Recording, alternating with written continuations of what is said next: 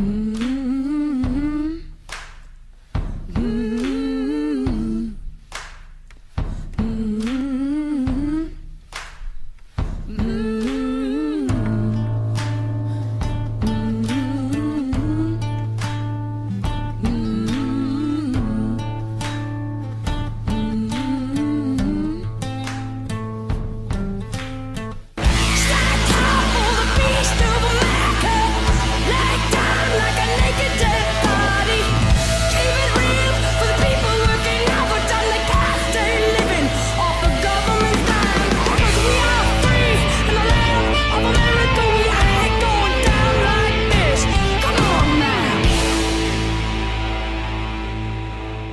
Stand tall for the beast of America.